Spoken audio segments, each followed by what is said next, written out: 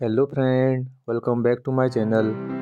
आज दिसंबर की 27 तारीख है और आज की वीडियो में जानेंगे उन पौधों के नाम जो सर्दियों के मौसम में भी कटिंग से इजीली तैयार हो जाते हैं। वीडियो के एंड तक देखेंगे तो आपको ज़्यादा हेल्पफुल लगेगा।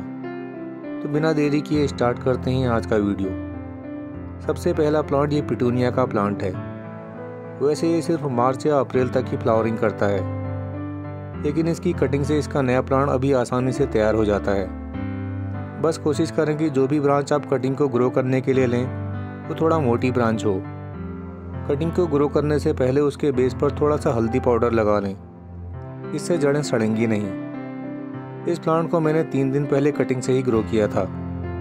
हालाँकि अभी भी इसकी हेल्थ बहुत ज़्यादा अच्छी तो नहीं लग रही है, लेकिन फिर भी कुछ दिन बाद ये ठीक हो जाएगा।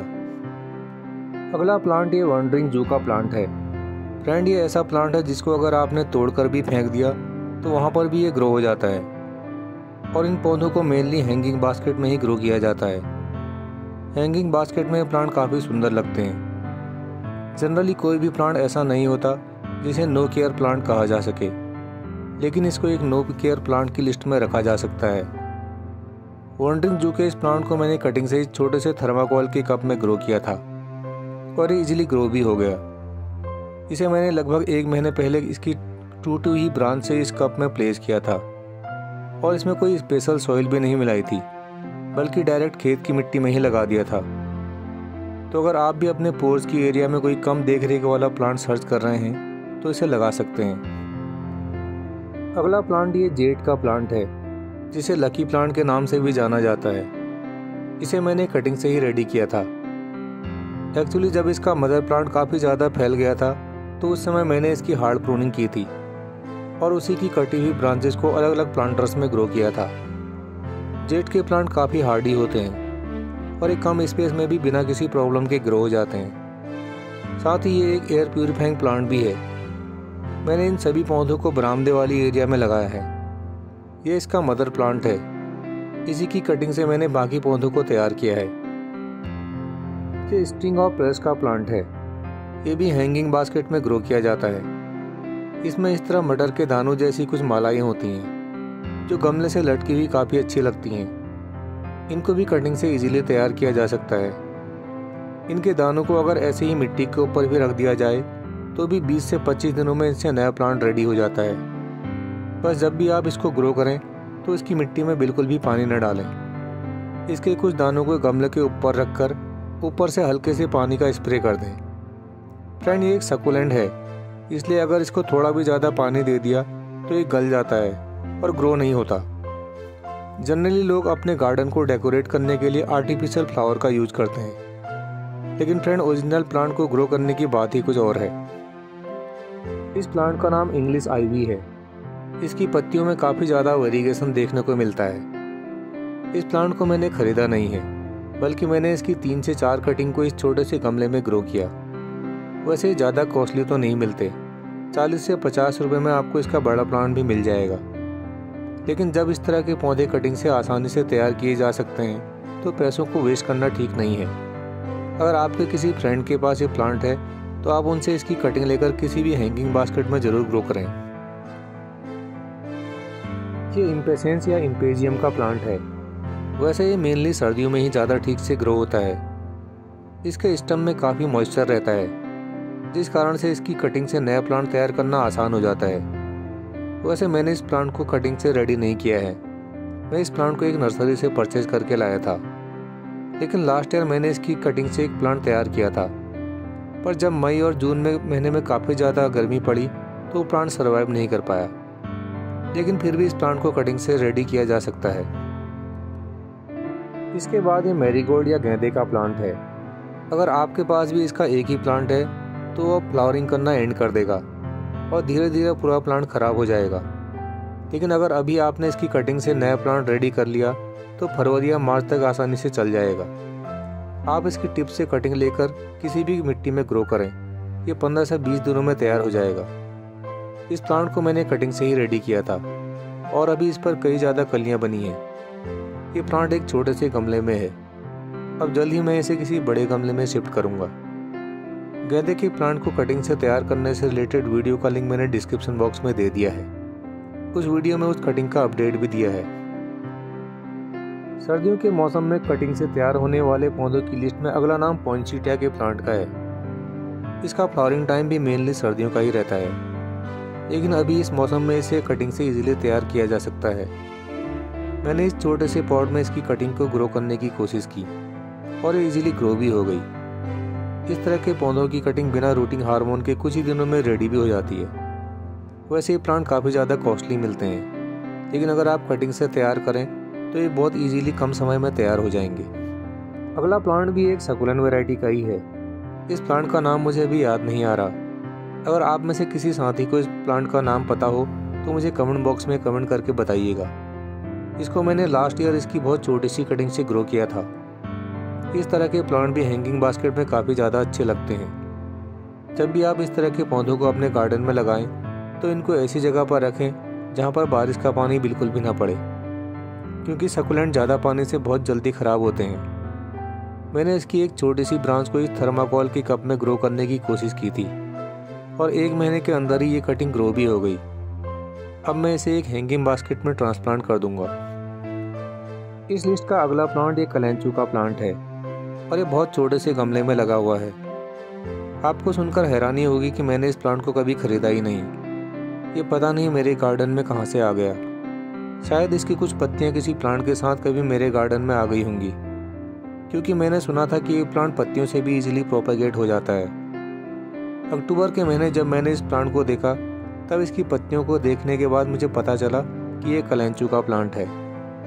इसका सीधा सा मतलब यही है ये प्लांट भी पत्तियों से या ब्रांच से इजीली तैयार हो जाता है। अगर आप इसकी कटिंग लगाने की सोच रहे हो तो इंडोर कंडीशन में इसकी पत्तियों या किसी ब्रांच की हेल्प से नया प्लांट तैयार किया जा सकता है। वैसे नर्सरी पर इस तरह का मेच्योर प्लांट 200 या 300 रुपए की रेंज से कम का नहीं मिलेगा। अगला प्लांट ये गोल्डन मनी प्लांट का है। इसको मैंने एक हैंगिंग बास्केट में ग्रो किया है। मनी प्लांट वैसे फरवरी के बाद से थोड़ा तेज़ी से ग्रो करता है। और उस टाइम पर इसकी कटिंग लगाने पर कभी भी फेल नहीं होती। लेकिन इस महीने की स्टार्टिंग में मैंने इसकी एक ब्रांच को मिट्टी में लगाकर ट्राई किया और कुछ ही दिनों में ग्रो भी हो गई। ये वही कटिंग से तैयार किया मनी प्लांट है। इसके साथ साथ मैंने गुड़हल की कटिंग को भी ग्रो करने की कोशिश की थी। पर सर्दियों में गुड़हल जैसे गर्मियों के पौधे कटिंग से बहुत मुश्किल से ही तैयार हो पाते हैं। अगला प्लांट यह जीरेनियम का प्लांट है। ये भी एक परमानेंट प्लांट है जो मेनली सर्दियों में ज़्यादा फ्लावरिंग करता है। जीरेनियम के प्लांट नर्सरी पर कई रंगों में मिल जाते हैं। पर हर रंग के प्लांट को 50 से 60 रुपए में खरीदने से ज़्यादा अच्छा है कि इसकी कटिंग से इसका नया प्लांट तैयार कर लिया जाए। वैसे जीरेनियम के प्लांट की कटिंग कभी फेल नहीं होती। मेरे पास जीरेनियम के जितने भी पौधे हैं, सभी को मैंने कटिंग से ही तैयार किया है। इस बार मैंने अपने दोस्तों से अलग अलग रंग के जीरेनियम की कटिंग मांग कर ग्रो की है। अगर बरसात में इनको पानी से बचा लिया जाए तो पूरे साल ये गार्डन में बने रहते हैं। अगला प्लांट गुलदावदी या क्राइसेंथीमम का प्लांट है। हालाँकि ये भी कटिंग से इजीली तैयार हो जाते हैं, पर इसे अभी ग्रो करने से शायद इस पर अब फूल नहीं आएँगे, क्योंकि उन पर फूल आने के लिए एक से दो महीने का समय लग जाएगा। इसलिए इसे अब आप जुलाई के बाद ही कटिंग से ग्रो करें। अगला प्लांट डेहिलिया का प्लांट है, जो मुझे इस समय कटिंग से ग्रो करने के लिए सबसे सही लगा। इसकी कटिंग का सक्सेस रेट भी 100 परसेंट ही रहता है। मैंने डेलिया के कुछ पौधों की कटिंग को लगभग 10 दिन पहले ग्रो किया था और सभी की टिप में कई ज़्यादा ब्रांचेस भी आना स्टार्ट हो गई हैं। जब भी आप इसकी कटिंग सेलेक्ट करें तो मदर प्लांट की टिप से ही लें। कटिंग को ग्रो करने के कुछ दिन बाद इसकी साइड वाली कुछ ब्रांचेस खराब होकर मुरझा सकती हैं। लेकिन इसकी टिप वाली ब्रांच ग्रो होकर डेफिनेटली नया प्लांट तैयार कर देंगी। डहेलिया के प्लांट पर बहुत ही यूनिक कलर के फूल आते हैं। जो एक बार खिलने पर 10 से 15 दिनों तक प्लांट पर बने रहते हैं। फ्रेंड, ये बेबी सनरोज का प्लांट है। जेड, वॉन्ड्रिंग जू और इंग्लिश आईवी की तरह इसकी कटिंग भी कभी फेल नहीं होती। इस पर डार्क पिंक कलर के छोटे छोटे फूल आते हैं। पर फ्लावरिंग के लिए इसे धूप वाली जगह पर प्लेस करना पड़ता है। मैंने इसकी कटिंग को छाया वाली जगह पर रखे एक प्लांट के गमले में लगाया है। यहाँ पर छाया होने के कारण इस पर फूल तो नहीं आएँगे। पर ये इतने जल्दी ज़्यादा ग्रोथ पकड़ लेगी करके मुझे यकीन नहीं था, क्योंकि इसे भी मैंने इसी महीने की स्टार्टिंग में लगाया था। इसकी कटिंग कितनी इजीली लग सकती है? इसका अंदाज़ा इसी से लगाया जा सकता है कि क्यारी में फेंकी इस वेस्ट ब्रांच पर भी फूल आया हुआ है। इस लंबी सी ब्रांच में कोई रूट भी डेवलप नहीं हुई है, फिर भी इसमें फ्लावरिंग हो रही है। तो अगर आपके प्लांट कटिंग से ग्रो नहीं कर पा रहे तो इस प्लांट को एक बार ज़रूर ट्राई कीजिएगा। इस लिस्ट का अगला प्लांट ये सिंगोनियम का प्लांट है। ये भी एक एयर प्योरीफाइंग प्लांट की कैटेगरी में आता है। ये बेसिकली हैंगिंग बास्केट में ग्रो होने वाला इंडोर प्लांट है। इसकी कटिंग से भी नए प्लांट आसानी से तैयार हो जाते हैं। जब भी आप इसकी कटिंग को ग्रो करें तो मिट्टी को थोड़ा ड्राई ही रखें। क्योंकि सर्दियों के मौसम में पौधों को हवा से भी थोड़ा बहुत नमी मिल जाती है। सिंगोनियम के प्लांट एयर प्योरीफाइंग होने के कारण बरामदों के आसपास या पोर्च वाली एरिया में काफ़ी ज़्यादा लगाए जाते हैं। ये पेंटास का प्लांट है। आजकल के मौसम में इसकी कटिंग भी इजीली तैयार हो जाती है। इसमें पूरा साल बंचेज में फ्लावरिंग होती है। पेंटास के प्लांट में नोड एरिया काफ़ी ज़्यादा क्वांटिटी में होते हैं, जिससे इसकी कटिंग को ग्रो करने का सक्सेस रेट थोड़ा ज़्यादा ही रहता है। इस प्लांट को मैंने कुछ दिन पहले अपलोड करके इसकी हार्ड प्रूनिंग की थी। अब इसके नोड एरिया से कई सारी कलियाँ आ गई हैं। अगर आप भी इस प्लांट की कटिंग ग्रो करने की सोच रहे हैं तो एक मोटी ब्रांच को ही लें। इससे प्लांट जल्दी ग्रो हो जाता है।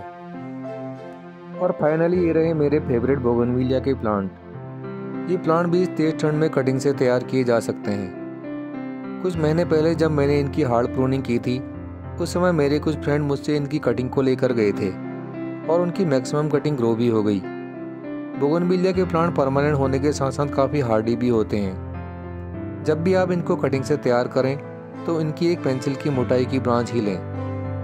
मोटी ब्रांच पतली ब्रांच की कंपैरिजन में ज़्यादा जल्दी ग्रो होती हैं। एक बात का ध्यान और दें, जब भी आप कटिंग से ग्रो करें तो मिट्टी में कोई भी केमिकल फर्टिलाइज़र को न डालें। कटिंग को ग्रो करते समय मिट्टी और सैंड या कंपोस्ट का ही यूज़ करें। एक बार जब नई कलियाँ दिखना स्टार्ट हो जाए तो फिर इसमें ज़रूरत के अनुसार केमिकल फर्टिलाइज़र डाला जा सकता है। तो फ्रेंड ये थी उन प्लांट की लिस्ट जिनको इस तेज ठंड के मौसम में भी कटिंग के थ्रू तैयार किया जा सकता है। हालाँकि ऐसे बहुत से पौधे हैं जिनको कटिंग से तैयार किया जा सकता है। पर मैंने उन्हीं पौधों के नाम आपको बताए हैं जो सर्दियों की तेज़ ठंड में भी कटिंग से तैयार हो जाते हैं। आपने इनमें से कौन से प्लांट कटिंग से रेडी किए हैं, मुझे कमेंट करके बताइएगा। अब आज की वीडियो एंड करते हैं। फिर मिलते हैं किसी नई वीडियो में, किसी नए टॉपिक के साथ। तब तक देखते रहिए, gardening with R thanks and happy gardening.